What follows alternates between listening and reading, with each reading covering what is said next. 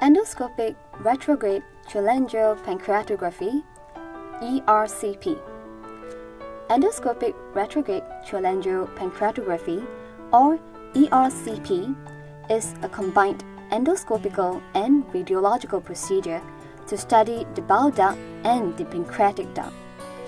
ERCP is performed using a special side-viewing endoscope which allows a detailed examination of the common channel of the bile duct and pancreatic duct, otherwise known as the ampulla.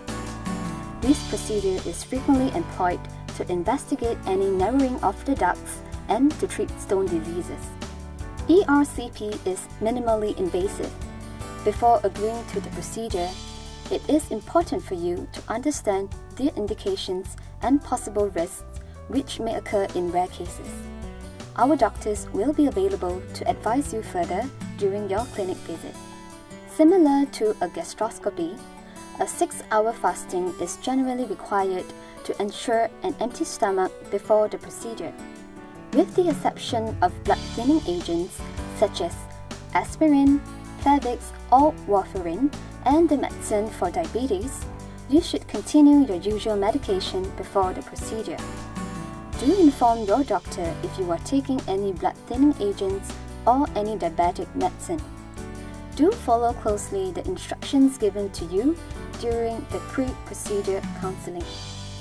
ERCP is usually done under sedation in the prone position and takes about an hour to complete.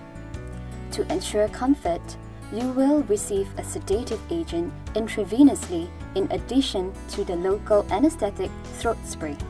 During ERCP, the endoscope will be guided through your mouth into your small bowel under direct vision.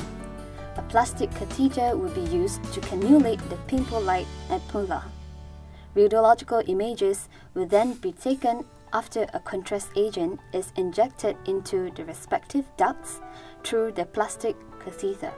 Depending on the findings, treatment of stone disease and abnormal narrowing can be provided using specialized instruments. Tissue samples may be taken and stents may be inserted into the respective ducts to allow proper drainage of the systems. Do expect to be admitted for an overnight observation for any procedure-related complications. You may be discharged the following day with instructions on self-care provided to you. Please return for your outpatient clinic review if a follow-up visit is deemed necessary by your doctor please contact our endoscopy center should you require more information.